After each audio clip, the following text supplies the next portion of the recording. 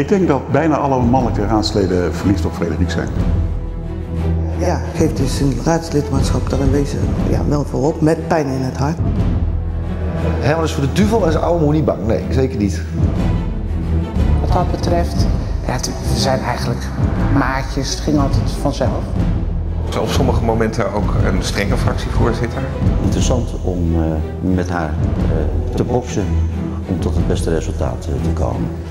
Job is in de eerste plaats ereburger van Vreeswijk.